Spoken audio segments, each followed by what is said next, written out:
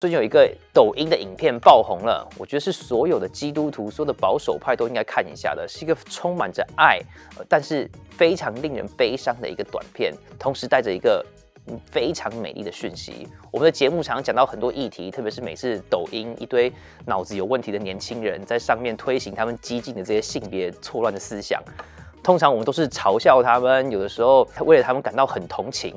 接下来我们要播放的就是我目前看过。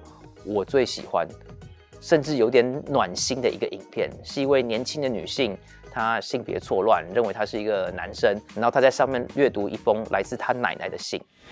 So recently, I texted my parents because I'm gonna go go home for Christmas, and I said, "Hey, do you mind calling me Mike when I come back for Christmas?" And then when I got home today, I got this letter from my grandma, and it is addressed to Miss Old Name. Not actually, but you know, I don't want to say my real name on the internet. Dearest dead name. On this, our Blessed Mother's feast day, I am writing to tell you that I will not address you as Mike.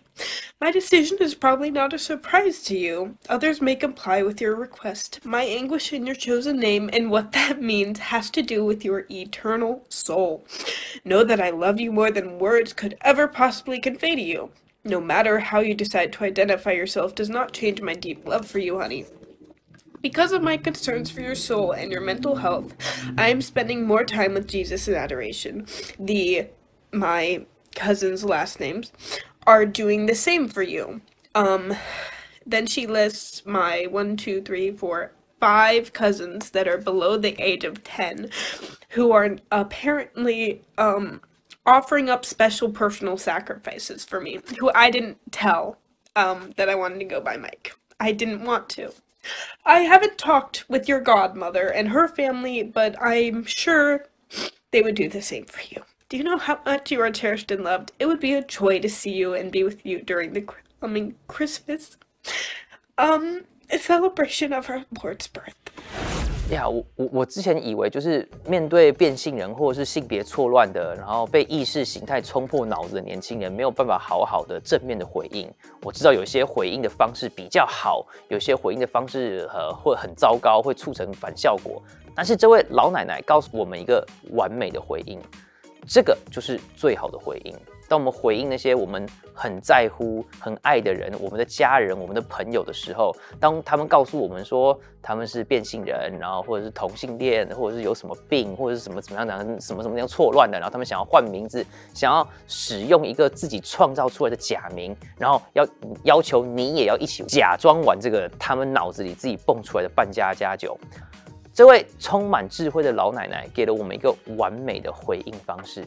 然后这位女生，这位女孩，很明显在经历一些肉体上、心灵上、信仰上错乱的问题。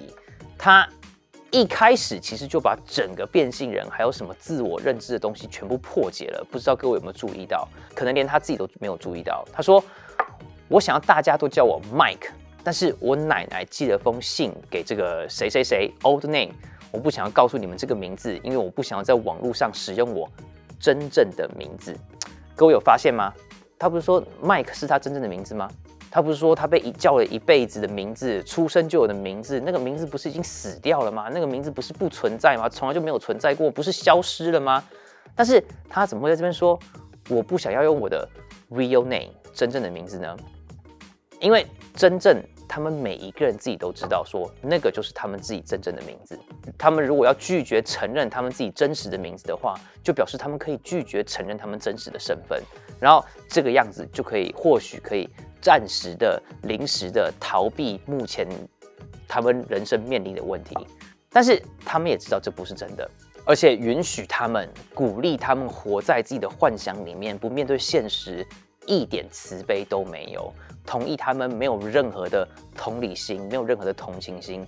这位老奶奶信上面写的回应，是我看过最真实、最纯粹的同情心。因为同情心、同理心很大一部分就是跟那个人一起受苦。这位老奶奶在信上面也跟他说，他会跟他一起承担这个痛苦，have anguish。但是他要坚强，然后跟神花更多的时间，活在神的祝福里，嗯，blessing in our Lord。不只是这个样子，你的表亲也在为你做所谓的 personal sacrifice 自我牺牲，他们也跟你一起承担，跟你一起痛苦，因为他们的同情心，他们的同理心，这是一个完美的回应，完美的方式，这个就是真正的同情心跟同理心。我们知道很多父母会被试探，就是说我自己有想过，就是哇。万一有一天我认识的人这个样子的话怎么办？甚至万一有一天我的小孩性别错乱的话，我会怎么办？我会怎么应对？我知道我会很想说，就是 没有关系，你开心就好。我只要你开心，你想要做什么就做什么，你想要我叫你什么就我就叫你什么，你想要什么当当什么性别就当什么性别。我只要你开心，我只想爱你，我只想要跟你维持好关系。这个是每个父母都必须要面临的，因为我们好爱好爱我们的孩子。我的女儿会跑过来跟我说：“爸爸，我想吃巧克力。”然后我说：“不行，等等就要吃饭了。”爸爸，我想要吃巧克力呀！不行，就是不行。OK，不要逼我。爸爸，我要巧克力，求求你一颗就好。好吧，反正无伤大雅。但是等一下你还要吃饭哦，不要告诉妈妈哦。没有小孩的人很难了解，就是。跟自己小孩说不要、不可以，是一件多么困难的一件事情。但是这个老奶奶展现，或许她很年轻，我是这位奶奶，OK，展现给我们看了什么叫做真正的 compassion 同情心，什么叫做同理心。耶稣神是怎么样爱我们的？还有我们要怎么样爱我们身边的人？就是跟他们一起承受痛苦，带着他们在神的大能当中找到平安。这位老奶奶真的是给我们。很多智慧的方向，随着年龄增长，智慧也是不断的变更高的概念。